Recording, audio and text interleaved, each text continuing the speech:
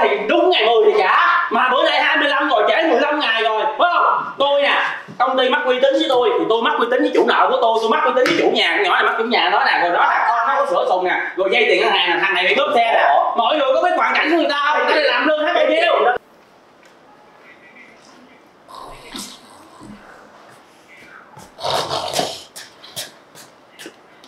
đi trễ một phút phạt 100 ngàn nha em Gì mà phạt 100 ngàn vậy sếp? chứ gì nữa? Công ty quy định vậy rồi. Anh nói bao nhiêu lần rồi? Nhân viên phải đi làm đúng giờ. Nhưng mà hôm nay á là em có một cái chuyện nhỏ em không có đi sớm được. Ủa với bình thường em về có về sớm không? Có về đúng giờ không? Em còn về trễ giờ còn tăng, tăng ca em cũng có nói gì đâu Mà bây giờ em vô trễ một xíu thôi à. Nói chung không biết quy định là quy định. 100 ngàn một phút 100 ngàn một ngày làm có hai 200 ngàn, 250 ngàn mà trừ 100 ngàn cuộc sống cái gì nữa trời đất ơi. Em xin lỗi sếp. Ôi em em ngồi xe buýt nên là xe- kẹt xe quá nên tới trễ một xíu. Trễ một xíu hả? Dạ. 5 phút rồi. 500 ngàn. Cái gì? Quy định của đưa ra một phút là 100 ngàn. Cậu đi trễ 5 phút 500 ngàn. Xong xin nghỉ đi? Trời ơi sếp ơi ngày em làm có 200 ngàn mà sếp trừ 500 ngàn em nợ 200 ngàn á sếp đó là chuyện đương nhiên tôi đã nói rồi, quy định là quy định, chỉ việc làm theo thôi. Trời ơi, em bị trừ một tháng nay bị trừ hết nửa tháng rồi. Mà biết sếp á biết- sếp biết á là ha, là xe em á bị chồng bị ngân hàng lấy mất tiêu luôn rồi. Em có tiền em trả đâu nên em mới ngồi xe buýt mới kẹt xe mới trễ gì đó. Thì sao cậu đi sớm hơn? Đừng có ý kiến cỡ tôi. Em ở đây ai đó. cũng lý do hết thì hả tôi bên ai trời ơi sếp ơi 5 giờ là em mới đi rồi đó mới trễ mà còn trễ nữa đó sếp. Nè với cậu hỏi ý đi mới đi trễ nãy đi trễ một phút tôi cũng phạt nó trăm ngàn cậu trễ 5 phút 500 ngàn khỏi ý kiến còi á không có cãi. Về chỗ làm gì đi. Thôi mấy người ơi là 300 ngàn trừ 200 lẹ đi. thì 300 chứ 200 gì nữa. 500 ngàn làm thôi ơi Ủa sếp thì 500 ngàn 500 chứ không rồi phải. kia mày nữa Dạ. Bây giờ này đi vô bệnh xin nghỉ nửa ngày bệnh xin nghỉ nửa ngày. Nghỉ nửa ngày hả? Cô nghỉ nửa ngày cô biết là bao nhiêu việc công ty không? Hả? Bây giờ em quỵnh mà bây giờ làm sao? Em có xin phép đàng hoàng cô xin phép không? Ok rồi theo quy định của công ty Làm gì luôn bây giờ? Đây nghỉ làm có xin phép. 500 ngàn. Hả? Kim nó có con nhỏ mà sếp Nó cũng nhà cho con nó uống sữa rồi mới đi làm chứ. Ôi. Ủa sao cho đứa nhỏ nó dậy sớm một chút uống bao nhiêu người làm được không làm? Xíu xíu không cần phải ngồi xíu đi sếp ơi nè tôi nói với con cậu nghe. Công ty không vậy. công ty không phải là một mình tôi đưa quy định đó. Đó quy định ở trên rồi yêu cầu cô cậu phải đi làm đúng giờ Sếp ơi nhưng mà em nghĩ em có phép mà tại con em nó bệnh. Sáng em chị em cũng phải lo chăm sóc cho con cái em Nè, cô Không xin phải em nghỉ ngang đâu sếp. cô Ngày xin phép á cô xin phép á là chỉ xin phép là vô trễ thôi. Cô vô trễ cả buổi trời. Cô À, xin đâu cho đi phải nửa tiếng thôi. Trời ơi cho cho không lẽ tôi cho con ăn mấy tiếng đồng hồ? Cãi không có lợi đâu ta làm ship mà giống như là cứng này thấy không? Nó đi gớm mấy tiếng đồng hồ nè Còn tôi là 3 giờ sáng là tôi biết tôi ở xa Tôi vô tôi ngủ trước. Khỏe à tuấn hả? Nhưng mà ngày cái gì đây? Đi Tụi mình gán còn đi đúng giờ. Tiền này tiền kia tiền À, đó tiền điện tiền nhà nè nè nè đây đây hồi sáng đó. Ờ, mọi người không có con em đi có con thôi cho em. Thôi về chỗ đi. Mệt cô quá Tuấn. Dạ Hồi sáng không chấm công Coi như là chưa vô đúng giờ. Ủa? Ủa hồi nãy em mới đi ra ngoài em mua đồ mà em vô sớm trước một tiếng luôn á Vô sớm vô một tiếng. Dạ. ờ Em làm chứng, em làm chứng nó vô chung với em luôn nè. Đúng rồi. Rồi thằng nào bấm ờ, mở khóa công ty cho nó vô. Bảo vệ rồi em vô em bấm chấm công Nó đi mua đồ ăn sáng cho em hai thằng em. Đúng rồi cho nên là chấm công là chỉ có cậu đi sớm đúng giờ thôi nha Kha. Còn Tuấn vẫn chưa vô công ty giờ này. Ủa? Ủa kỳ trời, camera chết rồi đó chứ mà. Sao tự nhiên Bây tính giờ- công trời. Camera lên chết giờ đi. Ủa? Nè tôi nói với cậu cậu biết tôi làm việc á tôi phải trình bày lên trên đúng không cái hệ thống mấy cô cậu vô bấm chấm công là nó sẽ ghi vào hệ thống. Không lẽ sếp hỏi ủa ngày hôm đó sao tuấn không chấm công nó không dạ sếp ơi hôm đó là hả? Tuấn có đi làm. Ủa tôi trả lời sao? Ủa vậy Mà- sắm máy làm gì vậy?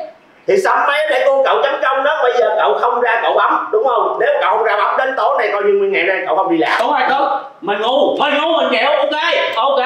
Thua. Ngu à, còn bây giờ không biết ra bấm đi lát hồi á coi như hôm nay là nghỉ việc đó. bấm đi để không Có mà. đi trừ hết bây giờ Im lặng, lặng, lặng Ờ, dạ. Ờ, dạ góp hả?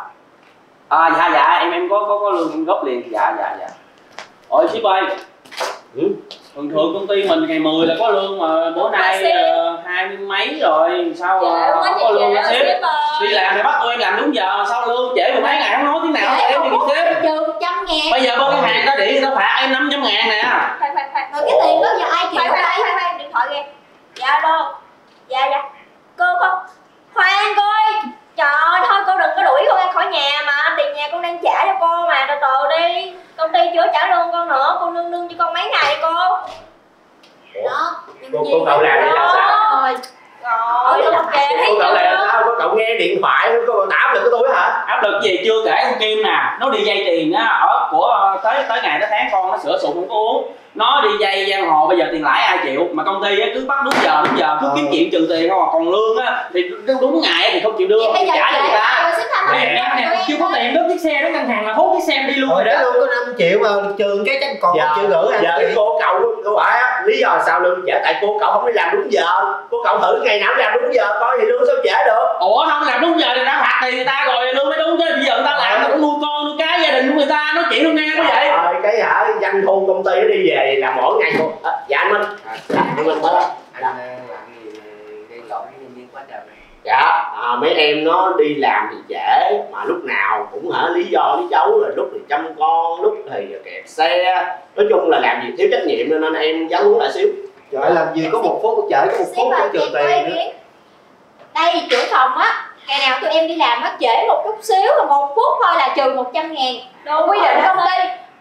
Trưởng phòng bảo là quy định của công ty là cứ mỗi trễ một phút phạt 100 ngàn. Mà trong khi đó hả tụi em á một tháng tụi em đủ thứ tiền phải lo hết trơn á bước vô một cái trễ một hai phút thôi anh phạt 100 200 500 mà ngày nào anh cũng phạt các lương tháng chỉ có 5 triệu thôi mà ông đi trễ thì ai ai đâu ai có dẫn luôn đâu sếp mà tiền lương hôm nay là Ông đi trễ rồi trễ. mười mấy ngày rồi ông đi trễ thì ông nói ông là đi em công tác lý do này nọ mà em nói thật sự á, là biết là quy định của công ty là vậy nhưng mà cũng có tình có cái lý của nó. Như sáng thằng Tuấn nó đã vô công ty rồi mà nó quên chấm công thì á, như vậy á, thì mình giờ mình làm làm cái biên bản xác nhận đi. Ổng cũng phạt tiền người ta. Trừ cái hết lương thì không thì mình chết cao mình cũng biết rồi mà đâu phải cần là phải tại à, nói chung là mấy cô cậu không hiểu. Anh hiểu không? Đó là em muốn đưa tất cả vô nề nếp.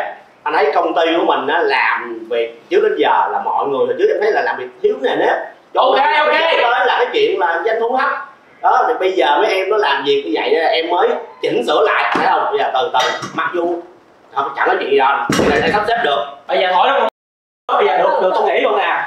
Bây giờ Nè. lương á thì đúng ngày 10 thì trả mà bữa nay 25 rồi trễ 15 ngày rồi phải không? Tôi nè công ty mắc uy tín với tôi thì tôi mắc uy tín với chủ nợ của tôi tôi mắc uy tín với chủ nhà con nhỏ này mắc chủ nhà nó nè rồi đó là có sửa sùng nè rồi dây tiền ngân hàng nè thằng này bị cướp xe nè. Mọi người có biết hoàn cảnh của người ta không? Cái này làm lương hết bao nhiêu đó là tự cái anh cũng làm cho lương mà cái cậu vay thì cái cậu tự trả là dính dáng công ty. Lương anh cao hơn mọi người anh giàu hơn mọi người. còn ở đây người ta sống sao?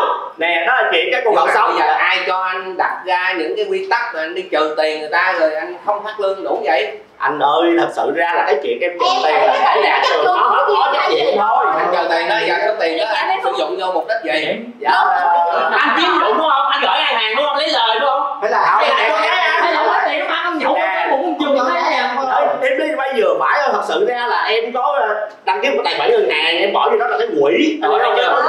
Lấy ông nội luôn chứ quỷ cái gì quỷ mà sao trơn quỷ cái gì? giờ cái quỹ đó ai đứng tên? Dạ Tài khoản ai chủ? em Ai đứng tên? em em đứng tên để mà để quản lý thôi. Thì sau này ví dụ anh em có liên quan thì tùng hay là mình có quà cáp hay là cái thưởng cho nhân viên em lúc tiền đồng nào chỉ đóng góp tiền riêng. Cái hùng lại đi đóng đi lớp ăn tiền này kia. Có lớp nào mà không có tiền ra đâu. Biết khi làm nó không chỉ trả tiền. Anh tự ý anh cắt lương người ta anh phạt người ta. Anh tự ý làm hết. Công ty đâu có quy định đó đâu. Trời ơi thì công ty thì quy định là các em đi làm đúng giờ. Nếu mà không đúng giờ thì vi phạm kỷ luật. Thì em cũng sợ mấy em bây giờ mình lập biên bản kỷ luật thì lập hai lần ba lần là đủ việc tội nghiệp nó thì em mới làm ra cái đó. Quy định thật sự cái quy định là để mấy em nó vô nề nếp thôi. Nếu mấy anh chị này mà đi làm mà không đúng giờ thì anh cứ ghi vô anh lập biên bản đi rồi anh đưa ra công đoàn anh họp chứ anh không có tự ý anh đi mở tài khoản anh trừ tiền người ta rồi anh nộp vô tài khoản người ta. Anh làm vậy sao được? Quan trọng là cái lương của tụi em đó là ship ơi bây giờ lương thôi. Đừng có kiểu anh chặn nói tao quýnh vô mặt mày bữa nay tao quýnh xong tao nghĩ cũng được nó vợ con nhà đói lắm rồi cả tháng nay rồi. Tao mắc uy tín rồi. Mày ăn nói bình tĩnh. Tao không nhập hết Này nè, ở mày ăn nói bình tĩnh nha. Ở đây là công ty đàng hoàng nha. Kêu bảo vệ bắt mày bây giờ. Tao quýnh mày quýnh bảo vệ luôn á. Đó thấy không? Những mấy cái này nó mất dạy như vậy mấy anh chị sao còn bây giờ mấy anh chị có cái là bức xúc gì đó thì làm cái đơn làm một cái đơn nộp lên. Rồi có gì tôi giải quyết cho. Ừ. tao nói luôn á tao mà đi làm nhân hộ khỏi làm nhân phòng nữa tao nói mày biết. Lương là chiều nay chuyển khoản một cái ten thì không có. Ủa tại sao lương là tôi đã phát ra từ ngày 10 rồi tới giờ không phát cho người ta là sao? Nè nếu mà tiền lương anh không thanh toán cho tụi em á anh đợi tụi em làm đơn đi tụi em không bỏ qua chuyện này đâu. Tiền này anh Còn không ai gửi gửi trả lấy lại đúng không tôi sẽ dạ không có là thiện Không làm nữa. chỉ là cái cái tiền đó em giữ lại để mà khi mà của em nó vui phạt rồi bị phạt rồi kia em trừ rồi sau đó cái tiền còn lại em Dạ, chuyển cho em. dạ, Rồi Em nói ra ông ăn giọng cho mở trong máu đi. Cái tiền 10 tay là phát lương cho anh em rồi. Anh giữ là cái 25 anh không phát cho người ta để người ta quậy lên thì là sao à, anh Minh để em ờ, để để em sắp xếp lại ờ, bây giờ anh khỏi cần sắp xếp nữa. Anh ờ, thu xếp đồ đi bàn giao lại. Tôi cho anh nghỉ việc luôn. Anh anh Minh dạ. Để em sắp xếp mình không có sắp xếp gì nữa. Tao lấy hai cái tết thì nào có lương thì Anh trả lại